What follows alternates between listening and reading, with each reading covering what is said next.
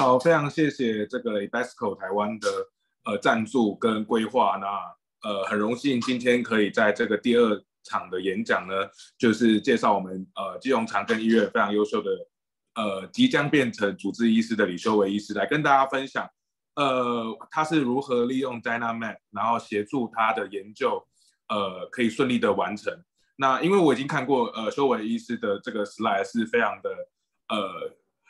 大家一定会会学到很多啦，很惊艳这样，所以我就废话不多说，那稍微跟大家介绍一下，呃，修伟医师他是呃长庚呃医学系毕业的，然后之后就在我们基隆长庚医院一路的 training 到现在哦，那他是他之后在今年的九月份即将升任为我们本院的呃 GI 的主治医师，那他在这个去年呢，就是呃有发表了一篇论文在 Critical Care。那是他的专科领域的题目是 acute pancreatitis，所以等一下呢，他就会跟大家呃说明他是如何利用 Dynamic，然后来协助他发表这样子的一个论文。那我们就把时间交给李医师，谢谢。好，谢谢主任。哎，大家听得到我的声音吗？可以。好，那谢谢 Dynamic 的邀请以及上次的主任给我这个机会，在这边我分享我是如何使用 Dynamic 写论文的。那大家可能会觉得很奇怪哦。就是为什么四场讲座就只有我们这一场是有一个座长，然后跟一个 speaker。座长不是通常应该是要是最强的，不是他应该要自己下来讲嘛？他是不是想要偷懒？那其实不是哦，就是介绍一下主任。主任说他自述说他在二零一九年开始哦，这四年内总共写了六十九篇 paper，平均以一年十七篇，一个月一点五篇的速度在在量产论文。所以我们要他回想起他写出第一篇论文的感动呢，可能有点太为难他了，所以就派我出来跟大家分享一下我的经验。那，诶，他前天还有特地敲我，就说，哎，你那个 PPT 要不要改一下？我现在不是六十八，我是六十九，昨天又被 accept 一篇。我心就我就说，嗯，好啊，OK 啊。但我心里想说，六八跟六九 是有差，都是一个天文数字。哦，但是对我们新手来说，零跟一。可能就差很多，就又关于你有没有办法，就是自己哦努力的写出一篇属于你的 paper，以及有没有办法在时间内哦完成升等的要求。那大家可以看到，其实我的实证经历是在去年十月才参加我们医院办的实证工作坊，所以相信可能有部分的听众啊，可能甚至实证的经历还比我长。所以如果待会呃我的分享是对你们有帮助的话呢，相信大家一定能。都能够写出属于自己的 paper。好，那我非常推荐大家写这个 systematic review and meta analysis 这一种种类的文章哦，它对新手非常友善哦。有几点，第一个是它不需要申请 IRB，因为我们收录的这些 paper 它本身就是已经有 IRB 了我们只是把它拿来再度的分析，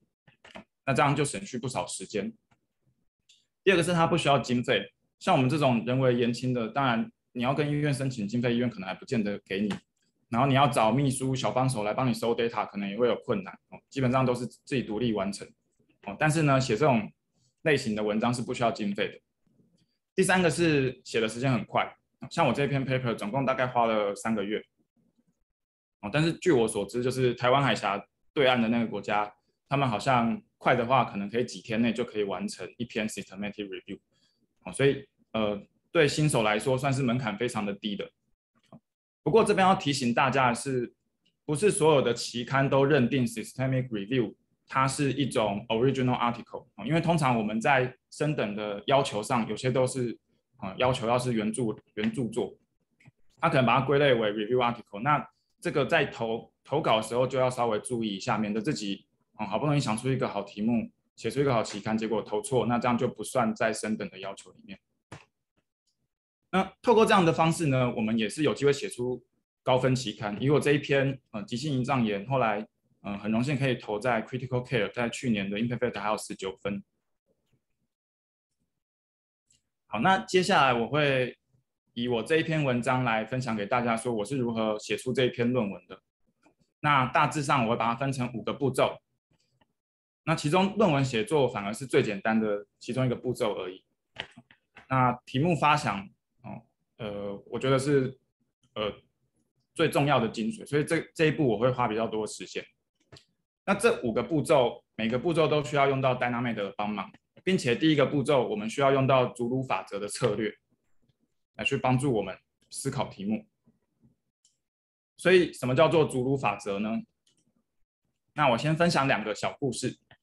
第一个故事是，呃，英国在十九世纪的时候，那时候还是世界上最强的国家，号称日不落帝国。但是呢，他有一次要去征服非洲的某个部落的时候，却意外打了败仗。而那个部落，他有的武器只有一些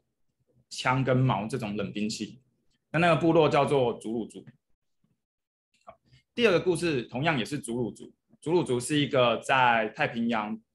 中间的一个食人族小岛，那他们随着呃跟文明世界的接触越来越频繁之后呢，他们就改掉了吃人的习俗，啊，所以就有一些勇敢的植物学家，他们就挺进这个小岛，然后发现了很多特有种。好，那第一个故事要告诉我们是，就是只要你在特定的领域达到一定的成就、一定的高度。哦，你就是那个领域的专家，那我觉得这个年代其实大家某种程度上都是祖鲁族，像我就是肠胃科的祖鲁族，那可能听众里面有一些是护理师的祖鲁族，或是药师的祖鲁族，可是我觉得在这个年代，光光当一个祖鲁族还是不是很够的，哦，像我们科内可能还有呃其他的祖鲁族的长老啊，或是来自美国的祖鲁族啊这样子。所以我们要把祖鲁法则再发挥到更极致，就是我们要学像这个植物学家，哦，他在一个他在他的领域当中，再挑一个相对冷门或者是说拥有比较多的条件限制的地方去发挥他的专长，然后去深入研究，好，那用这种方式，他可以相对的呃隔绝开潜在的一些竞争者，那你就可以。呃，成为这方面领域的专家的门槛就相对比较低。好，那实际上要怎么运用这个策略呢？那我先来说，我是怎么想到我这个 paper 的题目。那其实我这我这题目呢，它是在比较说，在急性胰脏炎的时候呢，呃，使用积极给水的策略跟使用相对保守的给水策略，哪一个会对病人的预后比较有帮助？那这件事情其实我在实习的时候，我就发现。很奇怪，因为我有一次我就轮训到肠胃科，然后就接了一个急性胰脏炎的病人，然后我就书我就边翻书边看嘛，然后书上就像这样子，他就呃提供了一些该奈的建议，像这个第二条，它也是我们其中一个该奈他所提供的建议，他说建议呢急性胰脏炎在前十二到二十四小时的时候，建议每呃要给到大概两百五到五百 CC 的水分。他这是 continue run 哦，不是我们平常病人 shock 的时候在 challenge。我想说，哦，好，OK，有书当做我的垫背，然后我就开 IVF normal saline 五百 CC per hour，然后就按 enter 存档，然后很自信的走回值班室要睡觉。然后过了两分钟之后呢，护理师就打来，就说，哎，intern 医师，你要让 IVF 五百哦，你要确定呢？我就说，对啊，怎么是你医生还是我医生？我没有，我记错了。我是说，哎，学姐怎么了吗？我我是照书上开的，这样不行吗？然后学姐就说，当然不行啊，你的学长姐们都开一百二到一百五就很多啦，哪有人在开五百 CC continue run 的？而且你这样开我 IV set 也没有办法调五百啊。我就说，哦，对哦，有道理啊，那不然我们改一百二好了。然后学姐就说 OK，然后我也就说 OK，然后这件事情就这样子告一段落。可是就很奇怪啊，就很矛盾。那到底是肝癌写错，还是我们临床医师不乖，都不照肝癌做事情？啊，但是因为下个月我就轮训到别科，然后就没有特别注意这件事情。但是很不幸的，后来走了内科，然后更不幸的是，后来又选择肠胃科，所以它就变成一个没有办法逃避的问题。那我就问我们科内的老师们，就说：“老师，这水真的是这样乱哦？”老师就说：“当然不是啊，你是想要把病人灌爆是不是？你这样病人。”可能会死得更快，就哦哦是这样子哦，对，那仔细想想好像也有道理啦。大家想想看，就是如果你每个小时灌五百 CC，等于是你十个小时要灌五千，一天二十四小时要灌一万四哦。这种状况，你就算给正常人灌一万四，正常人都不见得能承受得住，何况是一个 critical 的病人哦，所以好像也是蛮有道理。那到底是什么状况？还是说我从实习到变成 fellow 这几年，哦，肝癌有改呢？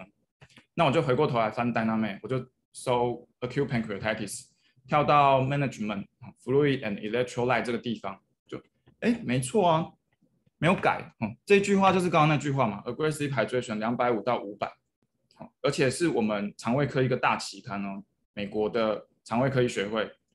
而且他还写 strong recommendation 哦，那也没改啊，那到底是怎么回事呢？那我们可以看上面这边 d a n a m 很贴心，他有一个警语跳出来，他就说哦，最近有一个 study 叫做 Waterfall Trial，他发现说 aggressive hydration 哦可能不能改善 pancreatitis 的 outcome，而且甚至呢可能会增加它的 complication rate。所以有新的证据支持我们临床上的想法，那我们就更有信心说，哎，这个可能是一个潜在可以做的题目。那所以我就去找那个邵主任，我就骗他说，哎，学长，这个有没有机会推翻该奈？还是我们来做做看？学长就说，哦，好啊好啊，那我们来做做看。所以我们定的题目就是急性胰脏炎，哦，在给予积极的给水策略跟保守给水策略之后呢，它的 outcome 会不会有所不同？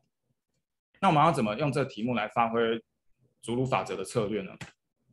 哦，我们讨论完之后决定说，就是要把胰脏炎分成轻中度跟重度的。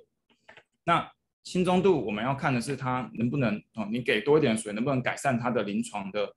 症状，哦，或者是说你反而会增加它的 complication。那重度的呢，我们要看的是它的 mortality。好，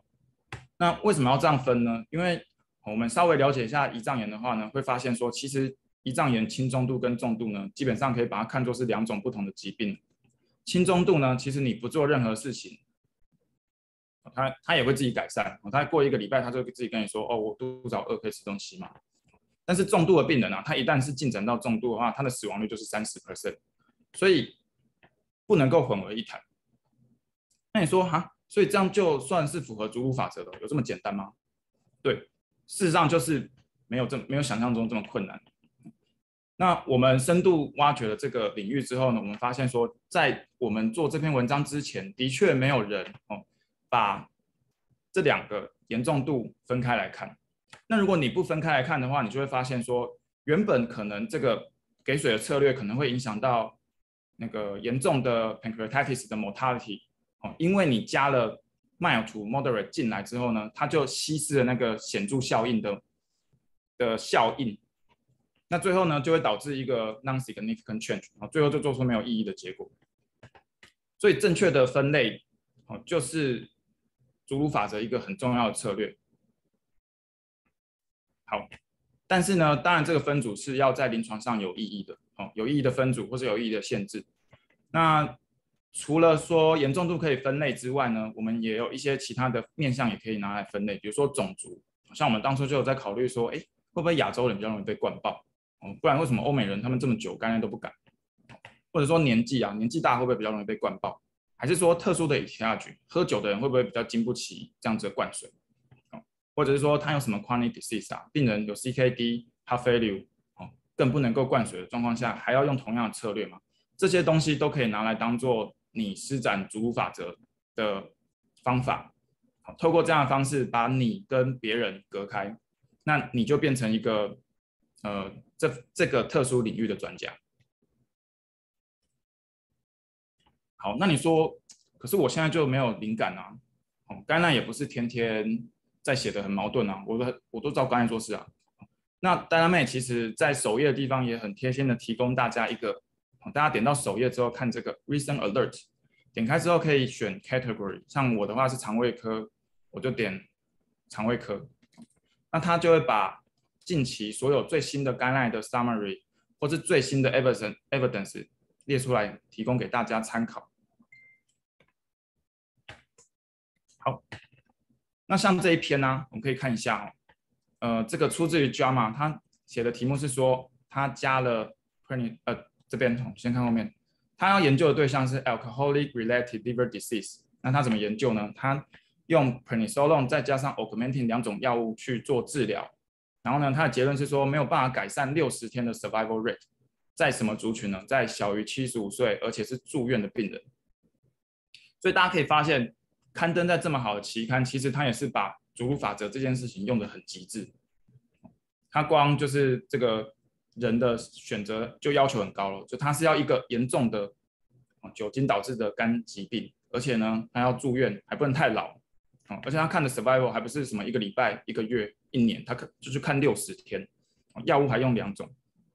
透过这样的方式，你就跟别人区隔开，就可以上这么好的期刊。好，那选定主题之后，再就是要熟悉主题。那其实第一步跟第二步应该是相辅相成，同时在执行的。边边了解主题呢，边就是慢慢修正，说我的题目应该要怎么定，我后续应该要怎么做研究。所以理论上对这个疾病的所有面向，我们都应该要有最基本的了解。那怎么了解呢？哦，当然也是透过 Dynamic，Dynamic 其实已经有提供很多的呃子子 topic 给，然后每个 topic 呢，它都有大概条列了三到五项最重要的给大家参考。所以其实从头念到尾，其实不会花很多时间。啊，如果你对特殊的某个 topic 有兴趣的话呢，它每一个。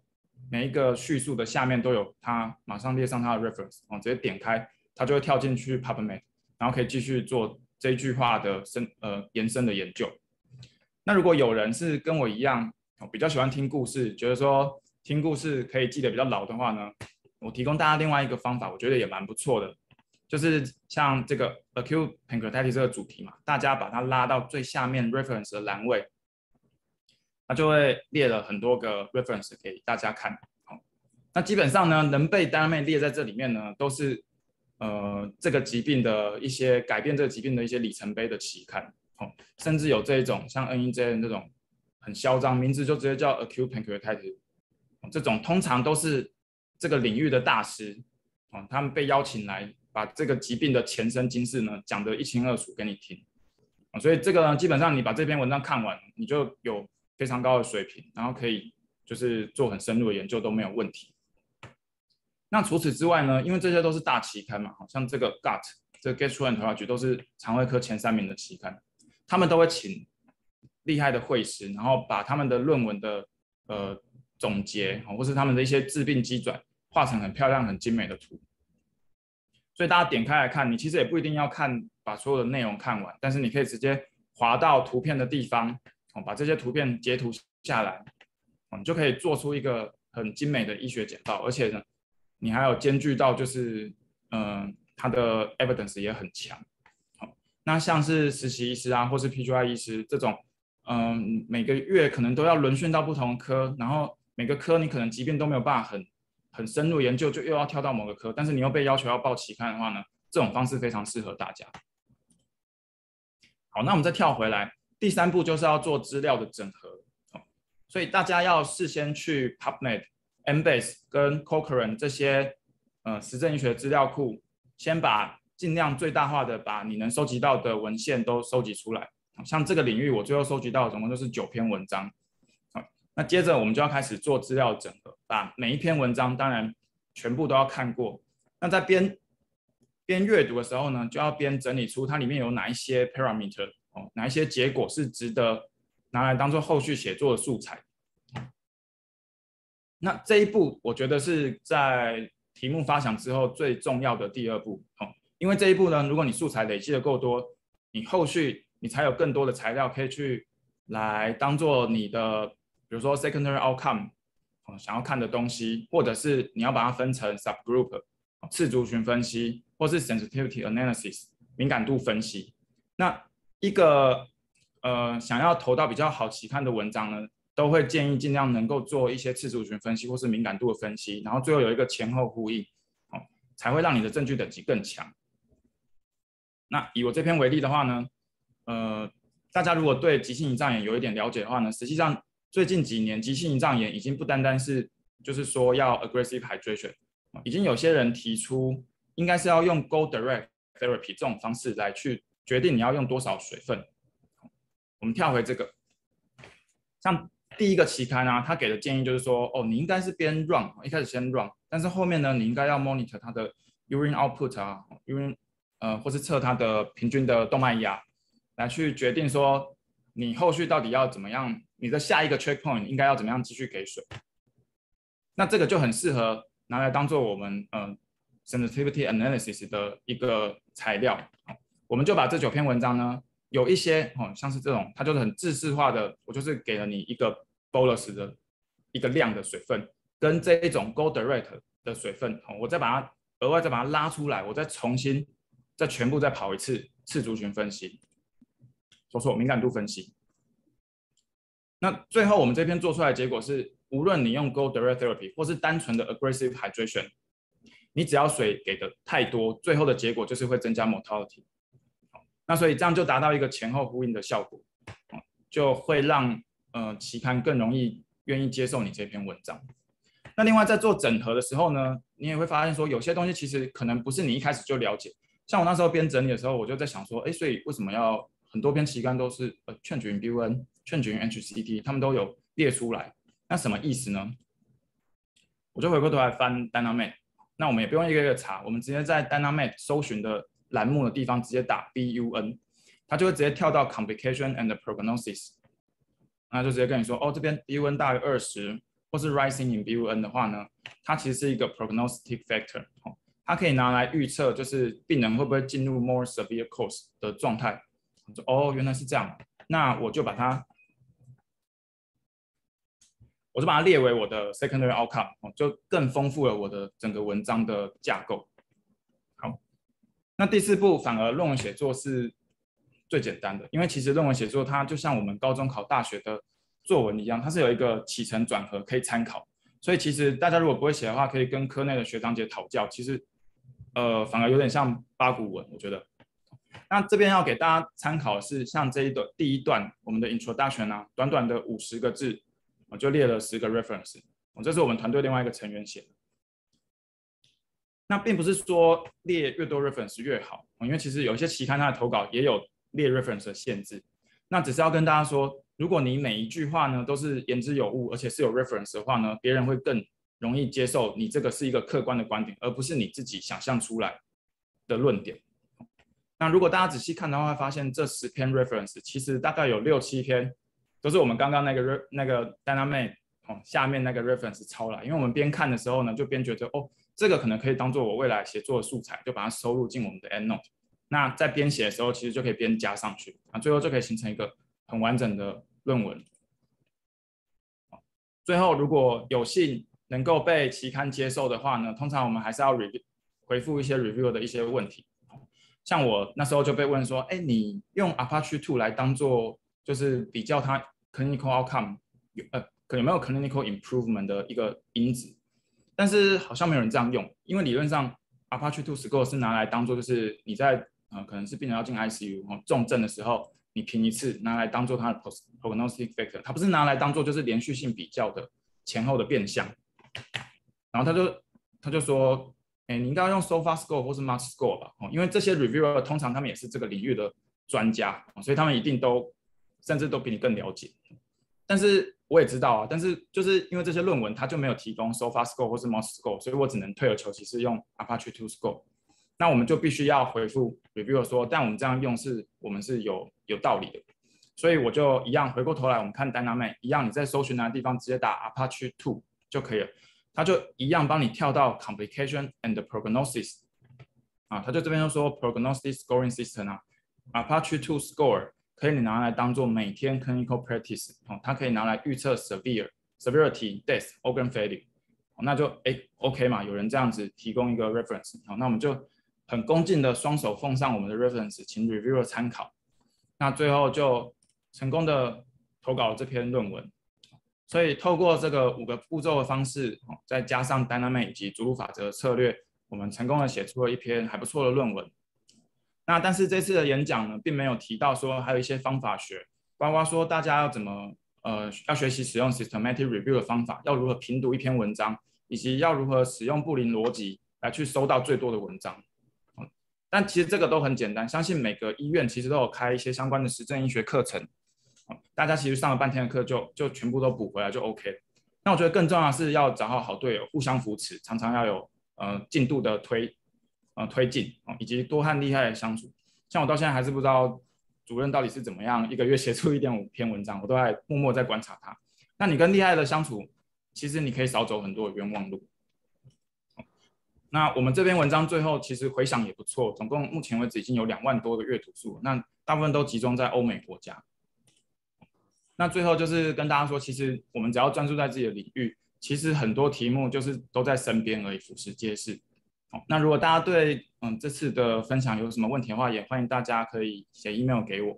那另外打一个小广告，就是嗯我跟我女朋友有在 YouTube 上有分享一些教学的文章哈。如果大家对抗生素、电脑断层的判读，或是动脉血氧的判读，或或是一些 procedure 有兴趣的话呢，也可以去搜寻 Doctor 殷一能的修为。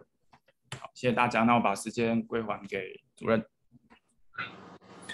好，呃，非常谢谢修伟，很精彩的演讲，然后都有讲到一些重点，然后跟实物上，其实呃一些好的实证资料库啊，虽然我们今天是 Dynamic 场，但是大家可能都会有自己熟悉的资料库。那今天呢，就是可以看到说有一些这个资料库真的可以帮助我们，呃，不管是做报告还是做研究，都可以提升我们的效率啦。那我个人真的是蛮同意修伟讲的，就是说可能在于我们对于这个题目的认识，然后一些 background 的 review，然后甚至是这个呃这个后面的回复 review，其实它都可以帮助我们去对这一些东西有更多的认识。那其实你可以看到说，呃，我们在写 paper 的时候啊，如果你引用的一些 reference 都是一些大 journal 的话，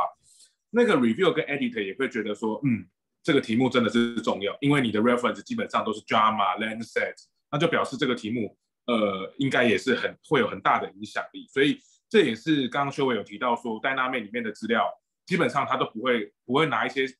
呃小期刊啊，都是都是大师写的文章。所以我想这个就是一个很重要的一个资源啦。对，所以非常谢谢就是修伟就是不藏私的跟我们分享。那。不晓得线上有没有呃实证的前辈或者是同号有问题想要提出来？那大家如如果没有问题的话，一定是觉得这个讲的太太好了，然后呃没有什么太多太多的问题想请教。不过如果你现在一时一时半刻想不出来，或者是说呃你之后可能有遇到问题的话，就是修伟有就把他的私人 email 留在这边哦。那大家可以跟他联系。那对，那最后呢，就是也要提醒大家要记得去填那个签退的问卷，有一个签退跟满意度。好，那我们再把时间就是还给整个主办单位。呃，谢谢主任还有医师的精彩的分享。那我们今天的研讨会也快要接近尾声，那我会把这个签退单放在呃聊天室里头，那就麻烦各位再去填写。那顺便也打个小广告，就是还有第三场、第四场的一个呃呃分享哦。那下一场其实是在八月二十三号，由我们嘉义基督教医院的黄品瑞医师，他分享的主题是当戴娜妹遇上实证医学，搜寻资讯与文献的大利器。那欢迎大家再次的踊跃报名。那如果您有在使用戴娜妹上面遇到任何操作上的问题，或者是呃，不知道如何订阅的话，也欢迎你透过 Facebook 或 Line 跟我们联系这样子。那就那今天还是再次感谢呃两位医师，呃邵世杰主任还有李修伟医师的大力参与。那非常谢谢他们精彩的分享。那我们我们的研讨会就到今天结束，谢谢。